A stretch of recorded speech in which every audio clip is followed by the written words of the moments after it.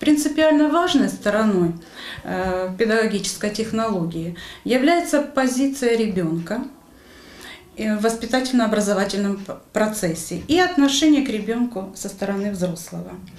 Целями педагогов, дошкольников является построение образовательной деятельности э, на основе индивидуальных особенностей каждого ребенка, поддержка инициативы, активности и способности детей во всех видах деятельности, помощь ребенку в самоутверждении и самовыражении. У нас легко дети из детского сада садятся за школьную парту. Программа по внедрению инновационных технологий в детском саду «Ромашка» работает с 2005 года. Педагоги-воспитатели с уверенностью заявляют, что на протяжении вот уже 12 лет наблюдается положительная динамика как в развитии детей, так и в их дальнейшей успеваемости в школе. В число инновационных технологий входит проектная, исследовательская деятельность, информационно-коммуникационные, а также здоровьесберегающие и игровые технологии. Собственные достижения маленькие воспитанники 11 детского сада продемонстрировали наглядно. Детки, помните, мы с вами делали ферму. Кошка где живет? Дома. Дома. А что она любит кушать? Молоко. Молодцы. А где коровки? В данном случае был проведен творческо-исследовательский проект «Домашние животные», в котором были задействованы дети младшей группы и их родители. Малыши рисовали, лепили и размышляли, кто же может быть домашним животным. А для лучшего понятия родители подготовили макет с фотографиями. Вот какие умницы.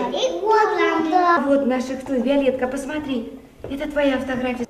Ой, какие молодцы! Ну все, повернитесь. Немаловажную роль отводят развитию музыкального слуха и самовниманию. На помощь приходят ритмические игры.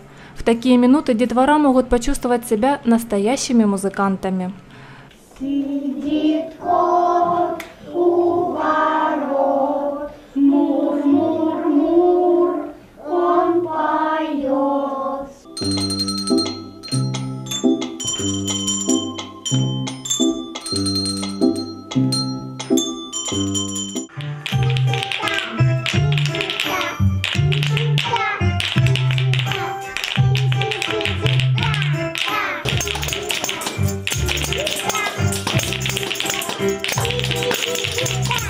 Для развития звуковысотного слуха у детей, музыкальной памяти, умения играть в ансамбле используются музыкальные инструменты диатонические колокольчики.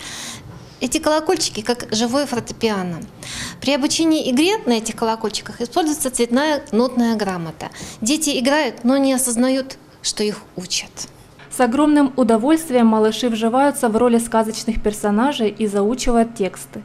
Используя нетрадиционную технологию театр-свиток, педагоги дошкольного учреждения вносят в жизнь маленьких воспитанников яркие красочные моменты.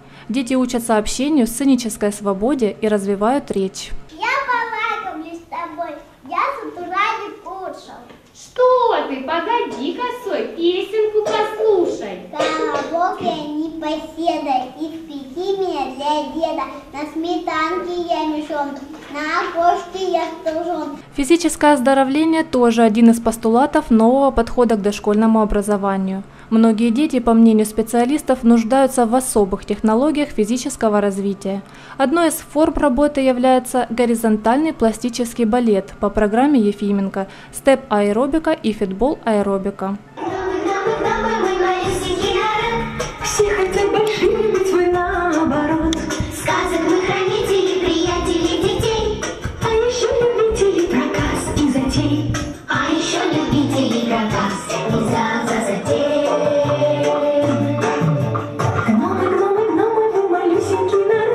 Конечно, на этом инновации не заканчиваются. Педагоги-воспитатели с легкостью подхватывают волну перемен, нахлынувшую на дошкольное учреждение.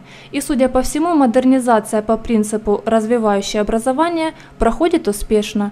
И то, что задумано в теории, воплощается в реальную жизнь.